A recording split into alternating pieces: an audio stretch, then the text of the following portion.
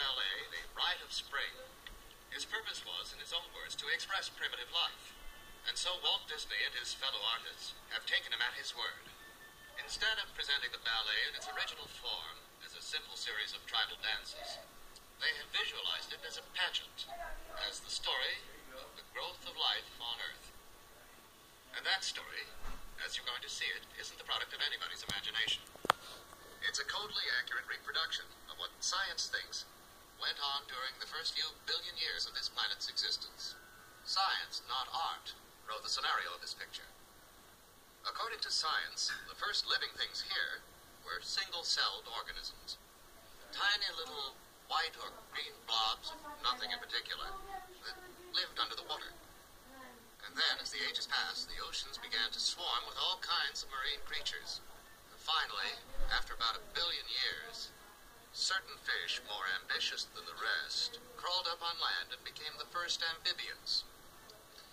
And then, several hundred million years ago, nature went off on another tack and produced the dinosaurs.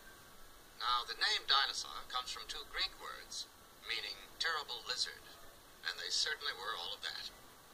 They came in all shapes and sizes, from little crawling horrors about the size of a chicken to hundred-ton nightmares. They were not very bright. Even the biggest of them had only the brain of a pigeon. They lived in the air and the water as well as on land. As a rule, they were vegetarians, rather amiable and easy to get along with. However, there were bullies and gangsters among them.